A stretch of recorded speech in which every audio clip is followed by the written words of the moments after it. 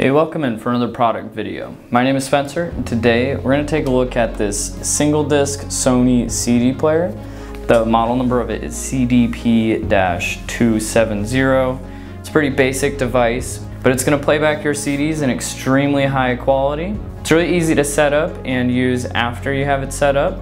It's only got a few buttons on the front, just your basic controls for playing back your discs and using the functions that you want. Let's go ahead and take a look at it. On the front panel of it, you've got your power button, open and close, playback controls, and then it's got a couple of different play modes. The main one that you would want to use is shuffle. With that, it's gonna randomly select tracks on the disc and play all of them until the disc is done playing through.